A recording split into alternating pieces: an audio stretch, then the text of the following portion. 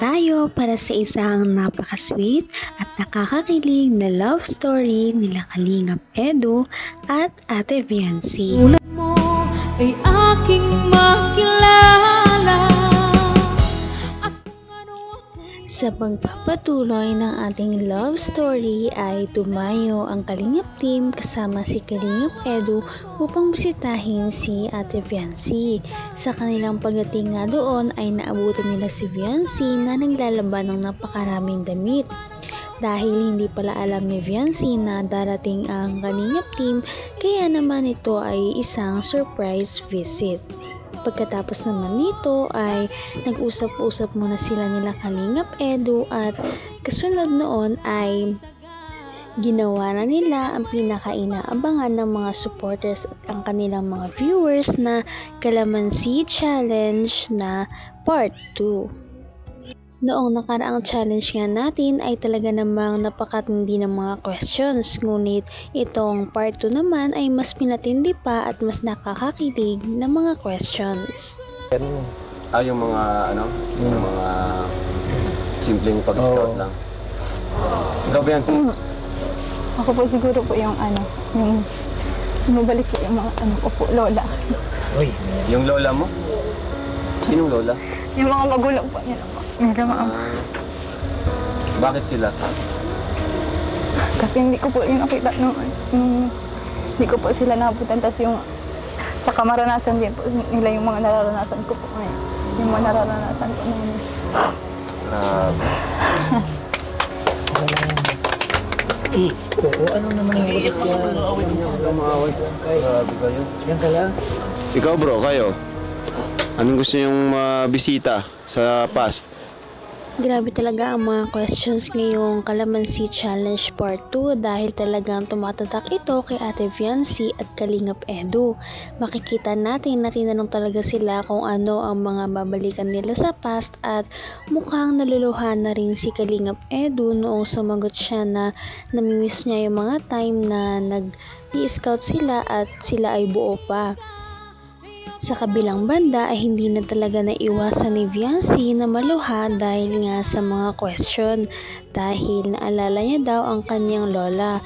Kung may maibabalik man daw siya sa past ay sana gusto niyang ibalik ang kanyang mga lola na magulang ng kanyang mama at papa dahil gusto niya rin sana na iparanas o maramdaman ng kanyang mga lola at lolo ang mga naranasan niya ngayon na medyo maginhawa na ang kanilang buhay, hindi kagaya dati na walang wala pa talaga sila at sobrang hirap. Ako siguro, ano, gusto ko yung, ano, gusto ko makita ng dinosaur eh. So, joke lang. Eh, layo na nun eh. Pero grabe, nakakatuwa yung sagot ni Biancy, ano, nakaka-touch yung sagot niya. Napaka-family oriented talaga ni Biancy at inuna niya talagang pamilya sa lahat. Iniisip yung kanyang pamilya. Ano yung gusto mo bago sa sarili mo, ano, Eds, kung meron man? Yung ano, minsan ano talaga, may time na parang ano, sobrang ano, sobrang tamad ko. Pagka pagka may na may mga time na May gano'n. mga time, oo. Oo naman. At sino naman siguro? Kasi ano, siyempre pagka gano'n, may mga namimiss kang opportunity ang nakaka, nakakapanghinayang. Nakapanghinayang. Tama. Ikaw, Biancy?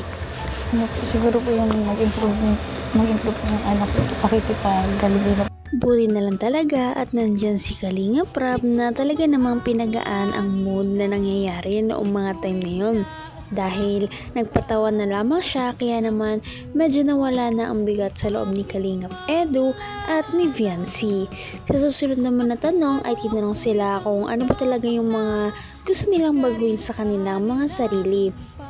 Sabi naman ni Kalingap Edu na gusto niyang bawasan ang kanyang pagiging tamad ngunit para sa kanyang mga viewers ay hindi naman siya tamad at talaga namang marami nagmamahal sa kanya dahil sa sipag at bait ng kanyang ipinapakita dahil hindi siya tamad kahit anumang araw bumagyo man o umulan ay talagang sumusugod siya sa kanyang mga ini-scoutan at ito ay kanyang talagang tinutulungan.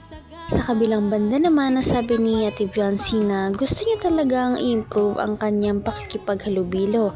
Ngunit ito naman ang sinabi sa kanya ng Kalingap team.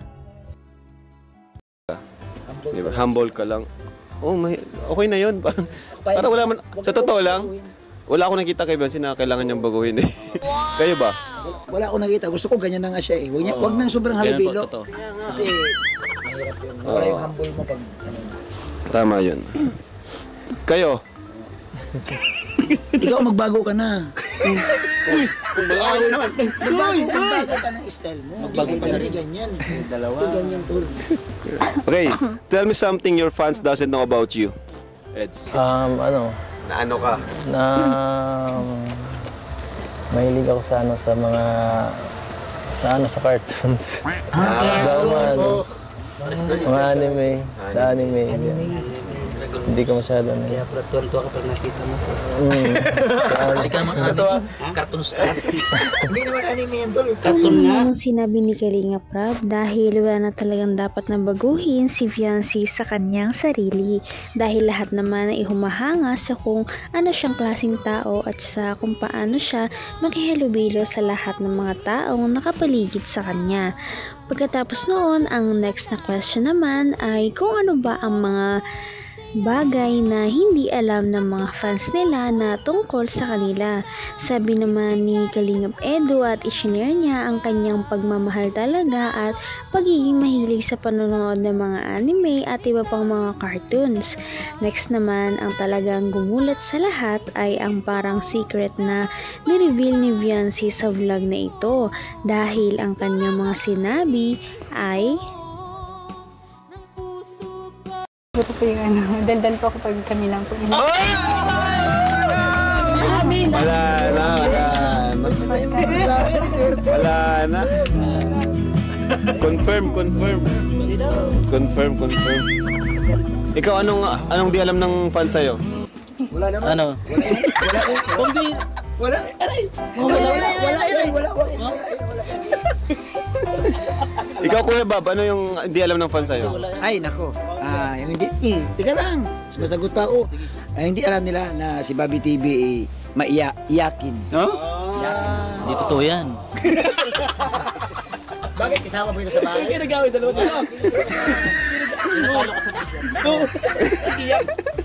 So, next, ano na tayo? Round 2 na tayo, round 2. Okay na tayo sa mga warm-up questions. Ay, may isa pa pala, may isa pa. Last question dun sa first round. N- since na na Kinilig naman talaga ang lahat sa ibinunyag na sikreto ni Viancy dahil ang kanyang mga gusto daw talagang i-reveal ay kung paano siya sa pakikipagtungo kay Kalingap Edu kapag walang kamera. Sabi niya na hindi daw alam ng kanyang mga fans at ng Kalingap team na talagang madaldal siya kapag kaharap niya si Kalingap Edu. Madaldal siya kapag silang dalawa lamang ang magkasama. Kaya naman kinilig ang lahat sa mga secret na ni-reveal ni Ate Viancy.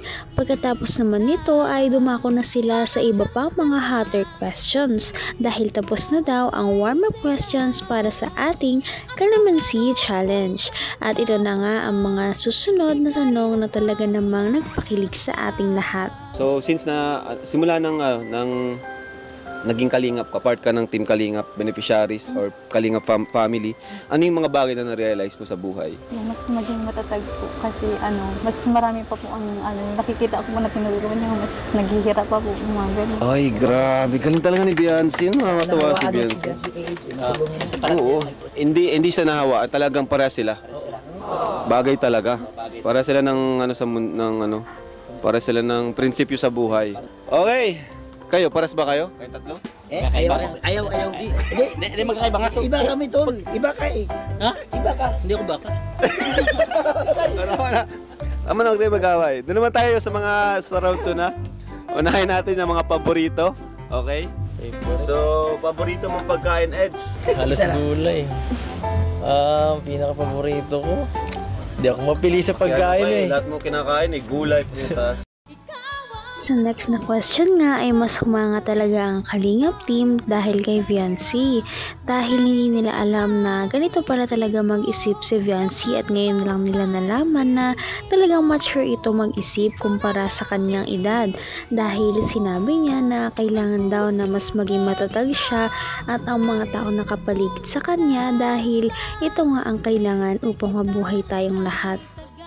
At yan ang kanyang mga na-realize noong simula na maging part siya ng Kalingap team. Pagkatapos naman nito ay mas dumami pa ang mga questions na dapat nating abangan dahil marami pang mga sikaretong nabunyag si Kalingap Edu at Viancy tungkol sa kanilang relationship.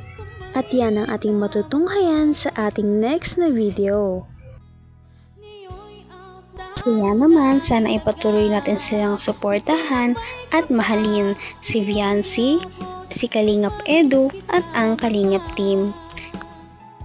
Yun lamang at maraming salamat sa panonood. Abangan natin kung magkakatuluyan ba talaga si Kalingap Edu at Viancy. Hanggang sa muli. Bye! Ngayon'y abot